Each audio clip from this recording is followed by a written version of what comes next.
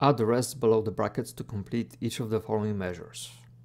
The first time signature is 3-4. This is a simple time signature which has 3 beats and every beat equals a quarter. A 16th note quintuplet will equal to 4 regular 16th notes, which is 1 quarter. So this is our first beat. In the second beat, we begin with a 16th note. If I add a 16th rest, this will equal to an 8th note, and then the 8th note will complete this first quarter, and then I will add a quarter rest for the third beat. Then we have a double dotted quarter note. The first dot is an 8th note. The second dot is a 16th note. I will need to add a 16th rest. This will equal to a half note or two quarters. So then I need one more quarter rest to complete this bar. The next time signature is 616. This is a compound time signature where we will have 3 sixteenths in the first beat and then another 3 sixteenths in the second beat. At the end of the bar, we have a 16th note duplet. This is equal to 3 regular sixteenths, so this is the second beat. For the first beat, I will write a dotted 8th rest. I could also write an 8th rest and a 16th. Both of these answers would be correct. We continue with the same time signature in the second bar. We have two beats and in every beat we'll have three sixteenths. We have a dotted 16th note. If I add a 30 second rest, this will equal to two sixteenths, which is the first two sixteenths in this group. Then I need to add a 16th rest, which is the third pulse in this group. And then for this beat, I will use a dotted 8th rest, just like here. I could also write it out as an 8th rest and a 16th rest. Both answers would be correct.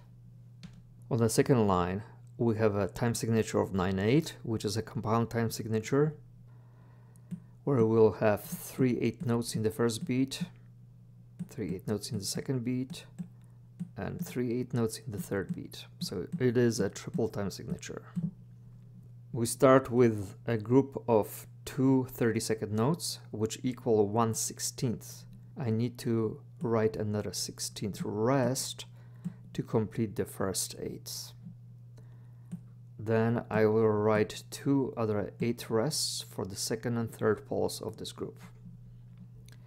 For the second group or second beat, I will use a dotted quarter rest. And the same thing for the third beat or group.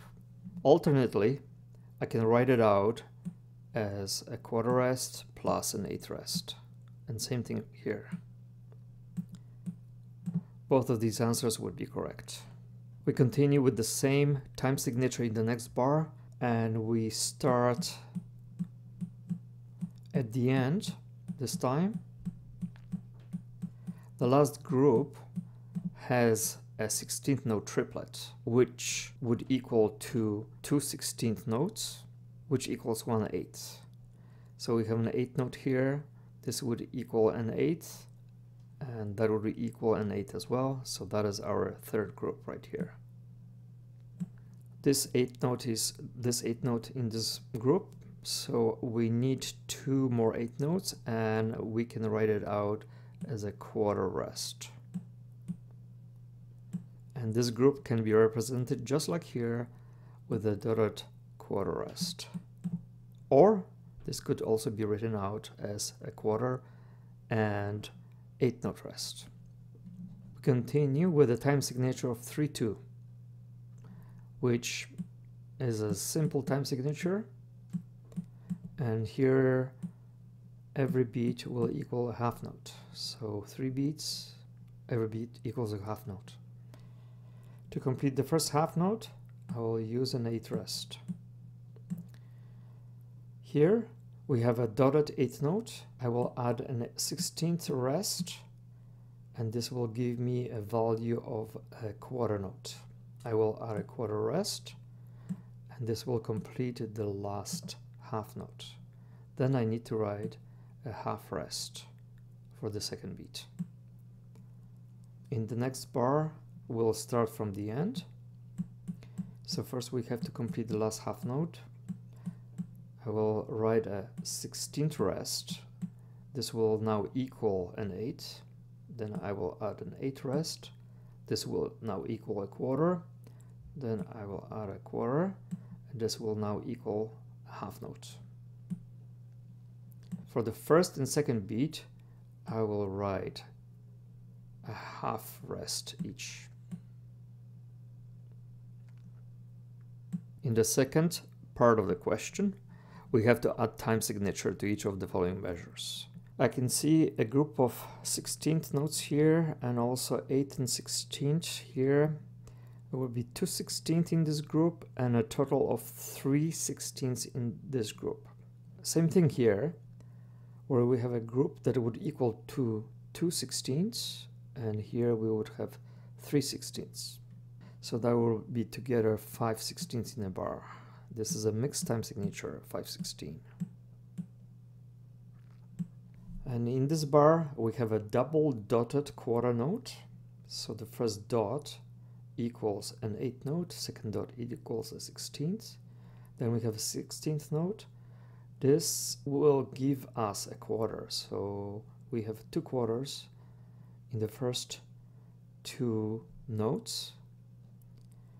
So that would be a half note. Then we have two quarters here, that's another half note. A quarter plus two eighth notes, there will be another half note and a half note at the end.